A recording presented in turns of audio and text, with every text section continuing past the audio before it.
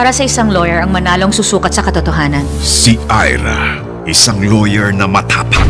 Walang ipinapatalong laban. Hindi na mahalaga kung ano ang totoo, ang importante nanalo tayo. Ngunit ang gumuguho niyang pag-ibig, Ganito na lang ba tayo? Hindi mo ako kakausapin, hindi mo ako hawakan, hindi ka man lang magpaparamdam sa akin? hindi na niya magawang ipaglaban. Nagbago ka na. Ako pa rin ang asawa mo. Nakipagkaibigan ka sa mga powerful na tao at tinapakan ng mahihina. Pero ang mas gusto mo, yung anak natin, kakalimutan mo na siya. Ano mo gagawa ng pagkapit sa batang patay na? Kinalimutan ko na ang batang yun. Wala kang karapatang kalimutan ng anak natin! Mag-divorce na tayo. Paano ka kakapit Sino ba tong babaeng to, Marvin? Anong klaseng babae siya? kung may iba pang dumidikit? Ang chance hindi dapat pinalalampas. Handa akong sumama sa'yo. Kahit pa nga sa impyerno. Ako nga palang wife ni Marvin Choi. Huwag na huwag kang magkakamali. Dahil kung hindi, Dahil kung hindi, ano? edi subukan mo para malaman mo. Huwag kang umalis. Huwag kang lumayo sa akin. Dito ka na matulog, ha? Hello? Honey? Oh, Nasaan ka?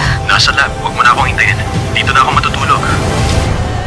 Every day you seem to far away. Every time I do, I tell myself 이곳에서 기다리고 있어. Wala kang karapatan saktan ako ng ganito! Hindi na kita mahal. Wala na akong nararamdaman sa'yo. At ako'y iniwan. Hindi ka pwedeng umalis. Huwag nating sirain ang mga sarili natin. Please, wag mo akong iwan. Daddy, alisin niyo muna si Ira sa buhay ko. Gusto ko na siyang mawala. I love you, Marvin.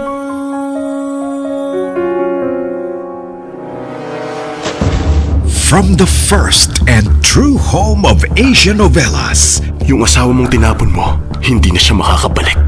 Kahit sinasabi mong nabura na siya sa isip mo, sa puso mo, hindi mo pa rin siya nalilimutan. Okay lang yan. Dahil ako ang buhay ngayon, ako ang mananalo.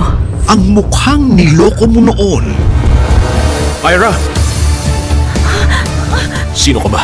Ako nga pala si Yoli. Kamukhang kamukha mo siya. ang mukha rin na kalolokohan mo ngayon. Nakakapikon lang yung kinukumpara niya ako sa ex-wife niya at hindi niya ginagamit ang utak niya. Kung kamukha man ni Yoli ang ex-wife mo, iiwanan mo kapatid ko at liligawan mo si Yoli? Girlfriend ko si Yoli. Hindi siya si Yoli, kundi asawa ko. Ang asawa mo, matagal nang patay. Please lang, lumayo ka sa kanya. Namimiss kita. Ilang beses ko bang sasabihin sa'yo, hindi nga ako ang asawa mo! Hindi mo siya maagaw sa akin. Hindi ako papayag. Sa akin lang siya. Baka manakawang ka rin katulad ko. Ano?